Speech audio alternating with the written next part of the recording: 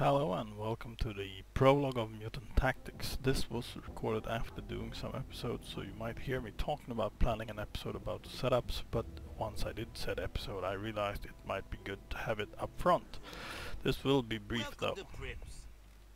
Anyway, first off let's uh, look at artifacts. I used the boombox artifact to first of all get the discount at Iridia's shop since this will give me the best use of all scrap I then find. After that I increase the damage of the molotovs to make more damage over time when used. And then I go for either the medkit upgrade or the grenade. Then I take the sapper to extend EMP duration and after that I choose ranger to increase weapon damage with one. Uh, then I normally go back to pick either of the one of damage or medkit that I didn't take earlier. After that it's pretty much what you like I suppose, but I usually wait with bleed out until last. Anyway, there's a reason for this, and that is if you're playing on a very hard difficulty and Iron Mutant, and you do end up in a lot of situations where you have characters needing 4 turns before they bleed out, then you actually need to, need to take your tactics back to the drawing board. Uh, considering that Iron Mutant is totally unforgiving since there's no reloads for you, my strongest advice is to use a safety first approach and if that's done correct you won't have team members that bleed out at all.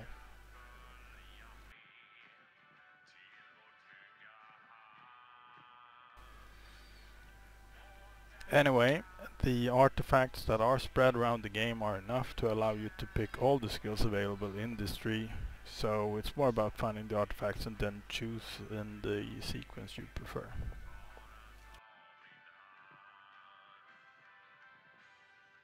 Have a swell time out there. So good to see you, stalkers. Next we will look at the shop and the only thing to say here for me is that I normally only go for EMP grenades and medkits. I might buy guns but that's for dismantling and upgrading other guns. And that's about it with, with guns. You will find plenty of these things that you can buy in the shop out in the zone so there's not much need of buying them here. I might pick up some grenades sometimes if I'm short though and an occasional gun sight. Um, as you can see though I've drained the place on medkits, something that's also part of the safety first approach. Uh, always have enough band-aid to stay alive. Bye now.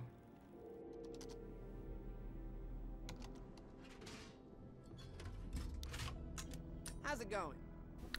Then we can have a look at weapons and as you can see there's a few of them for me. Uh, for me there's no need to have more than 6 guns and dismantling other weapons allow me to upgrade the silent weapons very early, giving, giving me the ability to take out more higher level opponents silently than I would otherwise be able to.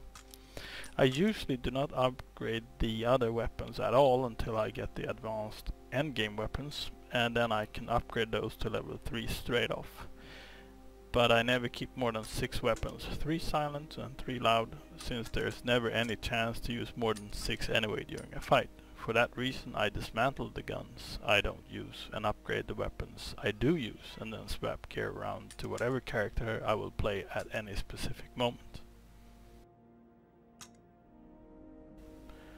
Finally a word about skills. I tend to pick up the actual mutant skills rather than the ability upgrades and this is because the skill have a big impact in the early game, a very good impact in the mid game and once you get to the end game you have enough skill points to upgrade abilities as well.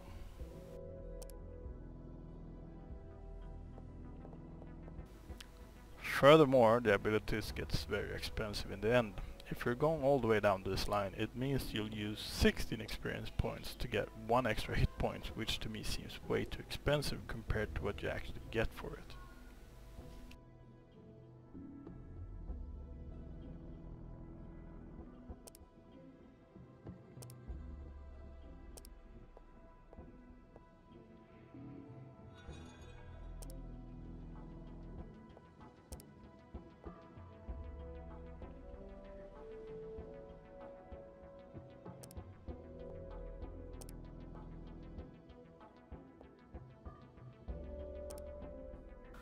Skills, however, have an impact on setup as well. Now Dux have, have a robot EMP device on his crossbow, but he will later be able to pick up a robot disabling skill. When that happens, I usually shift over the crossbow or the EMP device to Selma and outfit Bormin with an EMP grenade. This will allow me to have several goes at disabling robots and the attempts will be ever increasing uh, disabling probability with the EMP grenade having 100% probability.